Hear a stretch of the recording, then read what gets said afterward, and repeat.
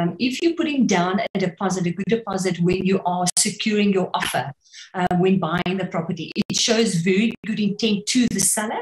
Number one, that you're serious on buying that property. And it could also, you know, be uh, the make or break between you and another client. For example, if there's more than one client, you know, uh, uh, bidding on the property. So that's the first thing.